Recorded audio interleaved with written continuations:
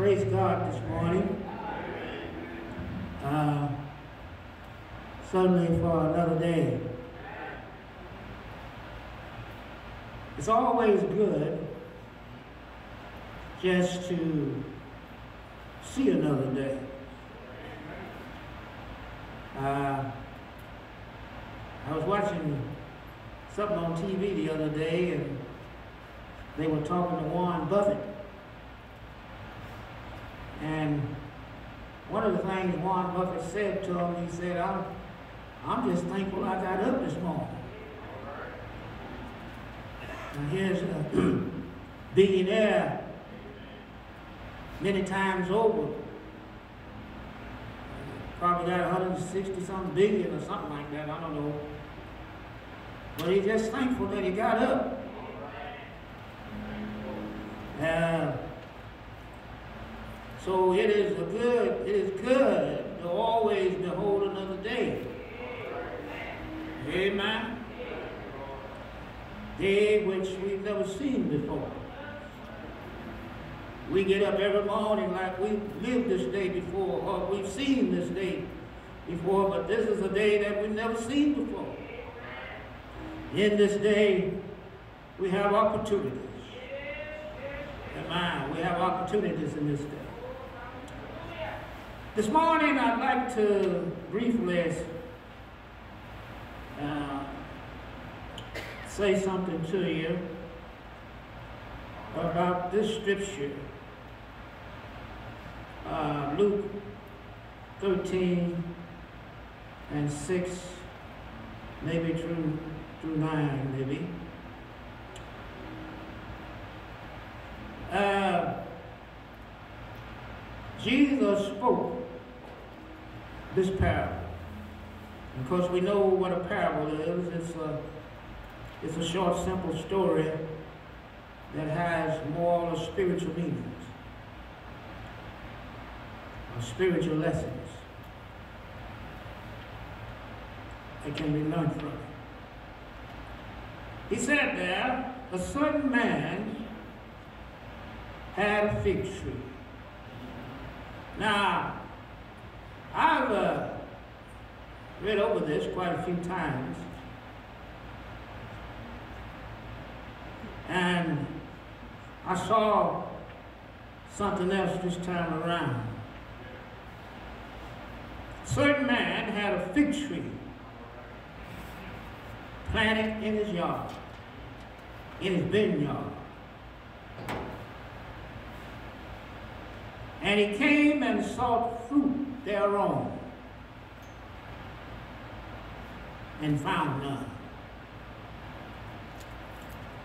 And I was thinking, all of us have, if I could say, a tree or a problem planted in our yard.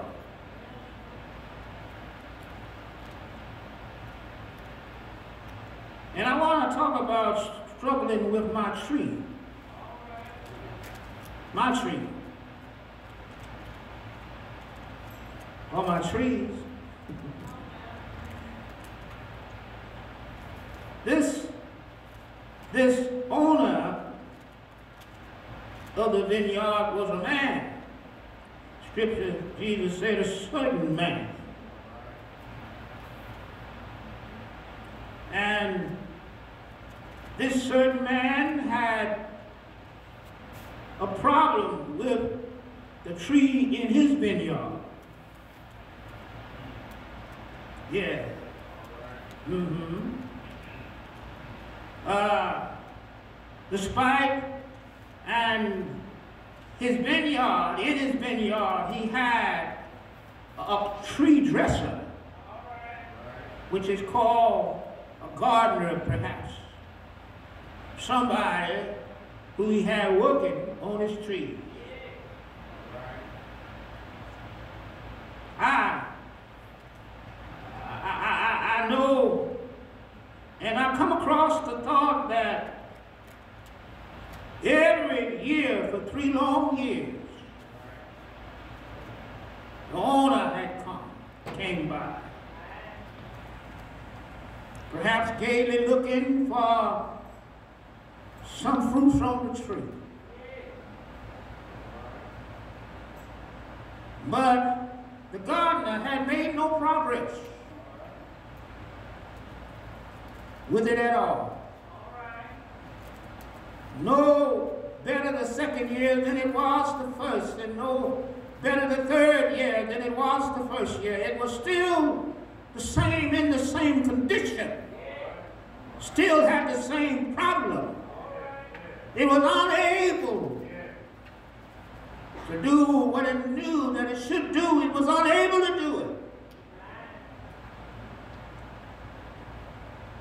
I know that the gardener had put efforts in. And I know that when I think about this lesson that I see Jesus is trying to teach us, is that in each of our lives there are trees or trees. And some of us have been able to fix a tree or two. Amen. But some of us have not been able to fix certain things that we've been trying to fix for a long time in our lives. We haven't been able to fix it. Glory, hallelujah. We want to fix it. We, we want to make it better, but we've been unable for a long time to make it better. Y'all ought to hear what I'm saying. I, I know because I got some trees in my life. I don't know about you. That I've been working on for a long time. Every time I look at some of these trees, it seems like I made no progress. Glory, hallelujah. And sometimes when you feel like you made no progress, you, you feel like you're not doing anything despite all the work that the gardener is putting in. Glory, hallelujah. Hmm? Now, uh, the dresser of the garden, of the vineyard, heard the statement of the owner. And the seventh verse said, the dresser of the vineyard, amen, we are a gardener of our life. Amen. And uh, but the Lord or the owner of the vineyard said in the seventh verse, these three years I've come seeking fruit on this fig tree, and I find none. Cut it down. Cut it down. Can I say that again? Why does it use up the ground? Lord, have mercy. Lord, have mercy. Uh, the owner was saying, stop trying to fix the problem. Glory, hallelujah. You know, after we've had a problem for a mighty long time, we may stop trying to fix it. Glory, hallelujah. But we don't help ourselves when we don't fix our problem. Oh, Lord. Glory, hallelujah.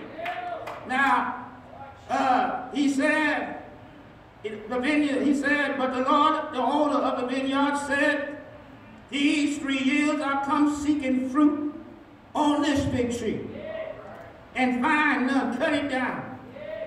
How many of us have come to believe that the tree is unfixable? It's unfixable, Pastor. I, I hear you praying about it, and I hear you preaching about it, but this tree that I've been working on, this thing that I want to get right, this problem that I want to make right, this life that I want to have, oh, oh, Pastor, I hear you preaching, but I don't seem to be able to make it right. Oh, glory, hallelujah. I, I, can't, I can't get it fixed. I can't get it fixed. I prayed on it and, and I sung on it and I talked about it and I believed on it, but I just can't get it fixed. Amen. How many have come to believe that the tree is unfixable? Come to believe that my problem is hopeless. A long time I've been praying with no change. Too long I've been trying to make it better with no change. Amen. Uh, the man had been in the garden for three long years working with the same problem. Glory, hallelujah. But uh, I like what the gardener had to say to the Lord of the garden. He, he when he told him to cut it down, he said, hold on. Wait a minute. Don't cut it down yet. Give me another year. Glory, hallelujah. Don't destroy the tree yet. Don't destroy my hope because despite the fact that the man owned the garden and owned the tree, I've been in the garden working on the tree. Hold on. Don't cut it down right now. I got aspirations for it. I got hope that my dreams will come true.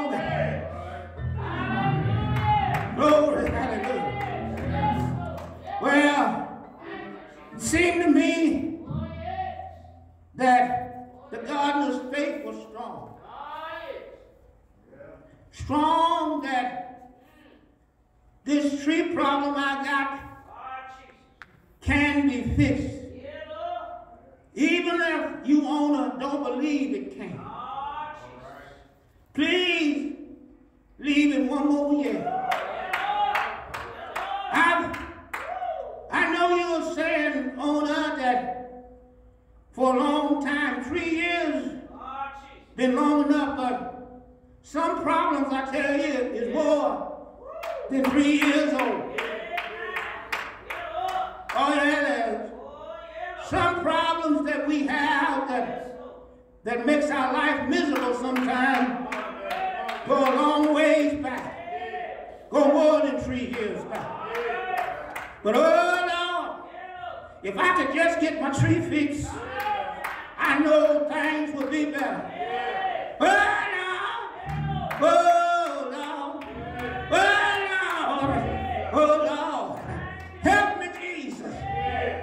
Lord. Ah, if I can get the problem fixed, and Lord, let let it alone one more year also. And then, and then the gardener came up with a plan. One that perhaps he had not been using previously. He had to give the owner a reason to give him one more year. Glory, hallelujah. What if I give you one more year? I don't see nothing that will happen in one more year. My problem don't look like one more year will solve it at all. Glory, hallelujah. I don't know about y'all, but I've hung on for a lot of years praying for some things. I, I heard, I remember when I heard my daughter testify the other, other Sunday about a job, that a new job. I thought, I thought about how long she held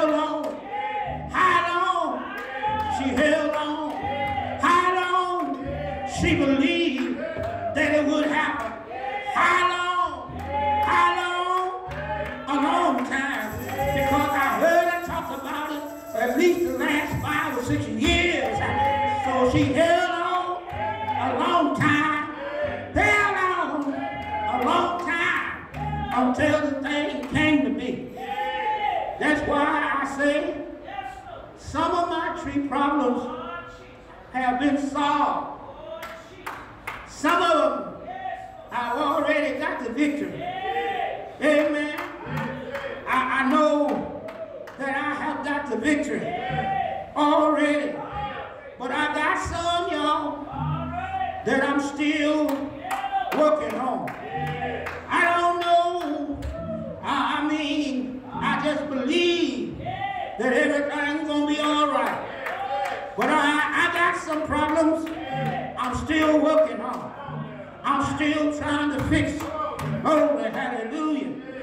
Please, amen, don't give up on me yet. Amen. I'm about through now.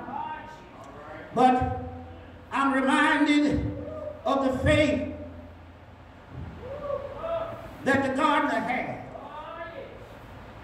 Despite not seeing any progress from all his work, despite not seeing any change in his problem, he still, amen, he still, amen, worked on it anyway. It reminded me of Job 1479 through 9. At least there is hope for a tree. If it's cut down, it will spring again. And its new shoots will not fail. Oh, no. I'm looking for the day that this tree problem I got will spring up again. Amen. Will the things that I'm praying and hoping to correct will spring forth and bless my life and bless my soul and bless my heart. Oh Lord, I thank the gardener realized that yes, there's hope. But you see somebody else might be in the garden with him. Oh Lord. Oh Lord. You know what I heard Jesus say? Jesus said, give me a body. Glory, hallelujah. And I'll go down and I'll fix every tree in the garden. Glory, hallelujah.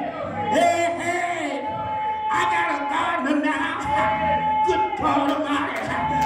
I know this gardener now. See, I know all about it. I know what he can do. Glory, hallelujah. Somebody said, this gardener never lost a case. Glory, hallelujah.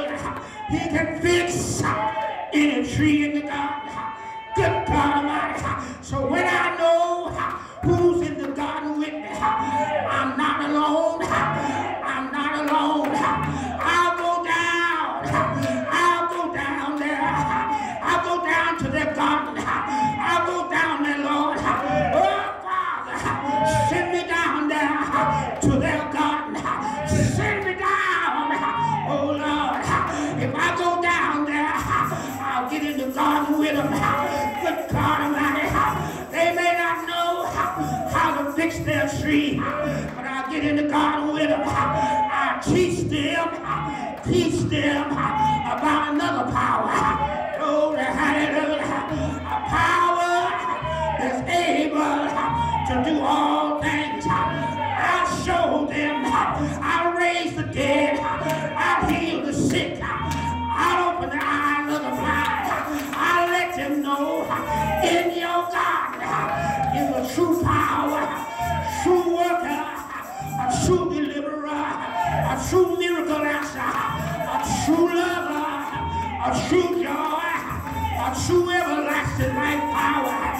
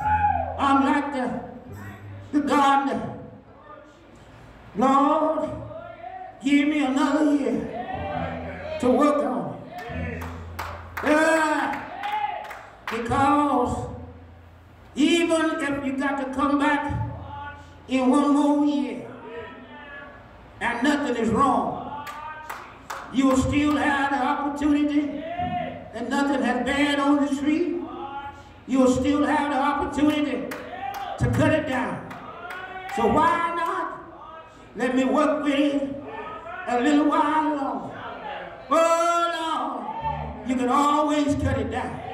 I think Job had saw a few trees cut down. That's why Job heard from the Lord. Even a tree that's cut down, if the stump is left in the ground, it may bud again. Oh Lord, even if your tree been cut down, the stump of it is still in you. Glory, hallelujah. What you thought that could never happen yesterday, what you thought could never happen three years ago, what you thought might never happen in your life, there is a, a trunk, a tree root in you, maybe cut down by life happiness and life trouble, but it's still in you. Don't you know? God said there's hope of that root in you that it may spring and bear again. Yeah! Yeah!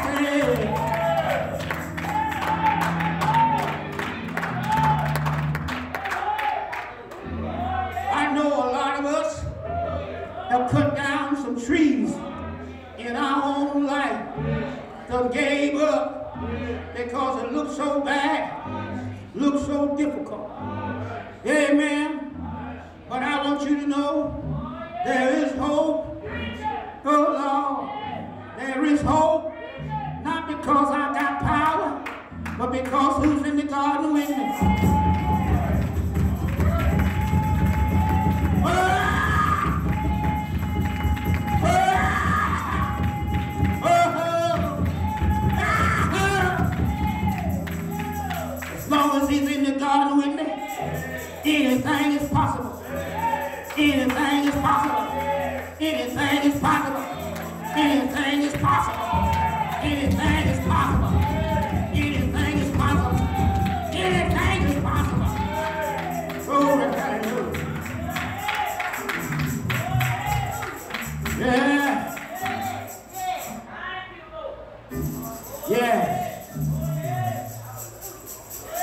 Amen.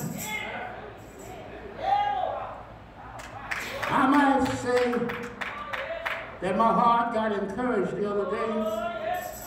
We know that scripture. And you know, sometimes you gotta have some encouragement. Amen. Everybody needs a good friend. Isn't that right? Gotta have some encouragement. But thank God, He said, I'll never forsake you. I never leave.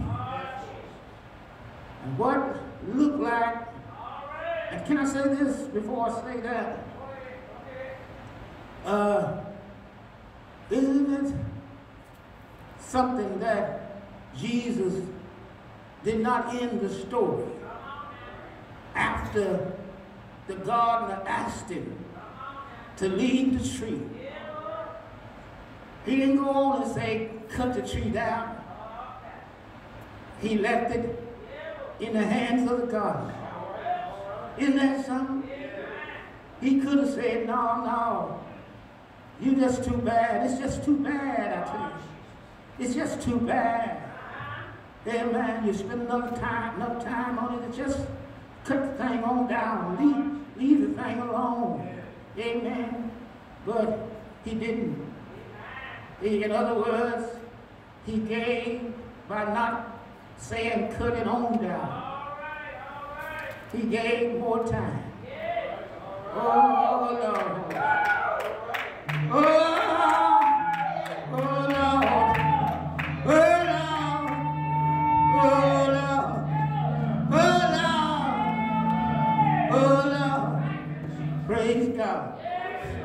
Praise God.